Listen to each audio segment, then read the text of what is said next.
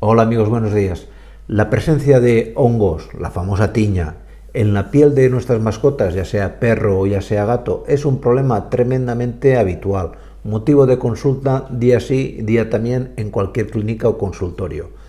En este vídeo os voy a enseñar a utilizar este medicamento antifúngico tanto en el perro como en el gato. Os diré las dosis, las cantidades, cómo se aplica, qué presentaciones tiene, sus efectos colaterales, que son pequeños, pero hay que explicarlos también.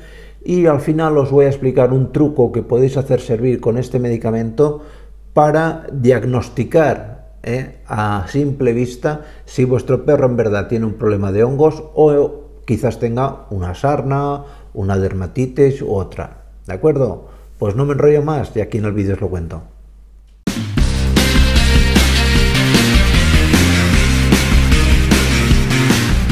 ¿Qué es el ketoconazol? El ketoconazol es un medicamento de los llamados antifúngicos, es decir, medicamentos activos o que se utilizan para tratar las infecciones en la piel por hongos, por hongos, levaduras, etc.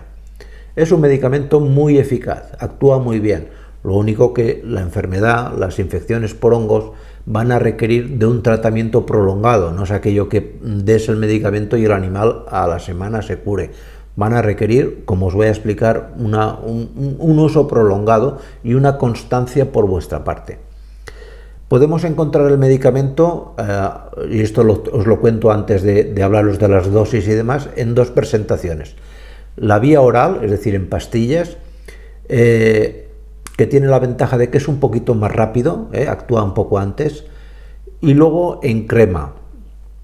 En crema le cuesta un poquito más de actuar, actúa directamente sobre el hongo y tiene la ventaja, eh, cuando lo das en crema, de que evitas que el hongo emita esporas, esporas que te pueden contagiar a ti, a los niños, etc. Con lo cual son dos fórmulas muy, muy, muy aptas. el ketoconazol vía oral Mm, se vende 100% eh, con receta, necesitáis una receta médica o veterinaria, aunque es el mismo que se gasta en humana. Y el ketoconazol en crema, eh, en algunos países se vende sin receta y lo podéis preguntar o pedir en vuestra farmacia como eh, las cremas que se pone la gente para el pie del atleta. Las infecciones por hongos que se dan sobre todo en las uñas de los dedos, de los pies, de las manos, en los de los pies es más común, sobre todo en gente que va mucho a la piscina y que hay hongos, pues eh, es una crema muy muy habitual.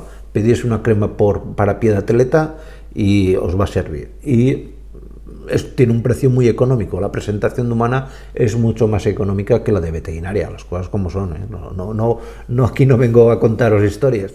¿Cuál es la dosis que tenemos que dar de este medicamento? Pues la dosis básicamente me refiero a la vía oral, la que se da en pastillas. La que se da en crema, eh, como podéis entender, pues es como cualquier ungüento, como una crema hemorroidal para las hemorroides, las almorranas, pues en este caso igual, o como una crema para las quemaduras, pues en este caso nada, la crema no, no hombre, no hay que poner todo el tubo, a ver si nos entendemos, pero eh, se trata de aplicar el producto sobre todo en los bordes de la calva, los animales que están afectados por tiña, ¿eh? Se les cae el pelo. No apliquéis sobre todo la crema solamente en el centro, sino más bien en los bordes donde empieza ya a, caer el pelo. ¿Y cuál es la dosis que tenemos que dar? Ya refiriéndonos a la vía de oral, a la vía pastilla.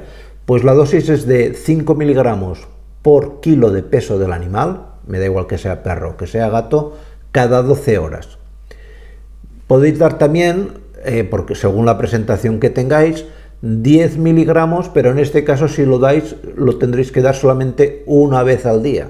¿Cuánto tiene que durar el tratamiento? Pues la duración del tratamiento, hombre, os aconsejo que, esto os lo revise un veterinario, porque las, micosis, los problemas de hongos es un problema eh, grave, ya no porque sea una enfermedad mortal, sino porque se contagia a los humanos pero eh, como mínimo, mínimo, mínimo, pensar que el tratamiento va a durar al menos un mes. Un mes no os lo quita prácticamente nadie. Me da igual que empecéis con la crema, con las pastillas, me da exactamente igual. Una ventaja que tiene para mí el uso de la crema, y eso es lo que os comentaba al principio del vídeo, como pequeño truco con este, con este, este medicamento, Es que muchas veces, nos pasa a los veterinarios también, eh, en el diagnóstico tú tienes que coger y hacer un raspado de la piel, mirarlo al microscopio, etcétera, etcétera. Claro, esto, quieras que no, cuesta un dinero. Entonces vosotros en casa podéis ya hacer un diagnóstico diferencial, por ejemplo, con la sarna, es decir, ¿cómo puedo saber si mi perro tiene sarna o tiene tiña? Pues ahora os lo voy a explicar. Cogéis la crema, lo aplicáis y si notáis una mejoría, eh, es claramente un problema de hongos.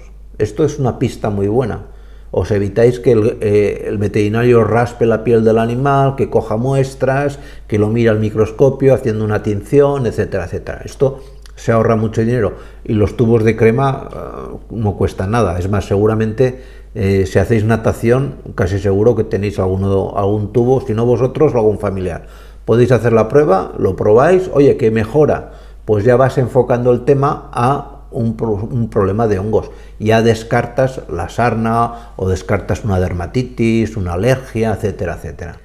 ¿Efectos colaterales del medicamento? ¿Efectos adversos? Pues bueno, yo siempre digo que si, si, si os leéis cualquier prospecto de un medicamento, la verdad es que a veces te asustas. Lo que puede ocurrir, lo más frecuente que pueda tener un animal que le siente mal este medicamento es que tenga vómitos o tenga diarrea. Es cierto que si se da durante mucho, mucho, mucho tiempo, es decir, eh, yo os he comentado que el tratamiento tenía que ser un mes, a veces lo prolongamos hasta dos o incluso en alguna ocasión muy rara hasta tres meses.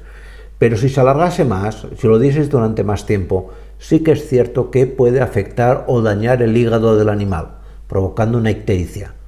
Pero esto ya es un caso muy extremo eh, que, bueno, que, sería un descuido por vuestra parte importante. Es decir, en el propio prospecto os viene dado, ya sea para humana o ya sea para animales o que compréis, que mm, no os tenéis que pasar del mes, mes y pico de tratamiento. Lógicamente, tampoco se puede aplicar en perritos cachorros, en hembras que estén dando leche, que estén dando la lactación todavía, y si vuestro perro tiene una insuficiencia hepática, tampoco, porque es un, producto que si ya tiene el riesgo de generarnos una hepatitis, mm, ya digo que es raro, pero si el perro ya tiene una, insuficiencia hepática, pues lógicamente en ese animal no se tiene que dar nunca, ¿vale? Y simplemente me queda recomendaros el siguiente vídeo, que es súper interesante sobre la tiña o los hongos tanto en perros como en gatos de verdad que os va a gustar y que me ayudáis viéndolo a que el canal tire un poquito para adelante, ¿de acuerdo? Pues nos vemos en siguientes vídeos. Muchas gracias y sobre todo cuidaros mucho. Chao.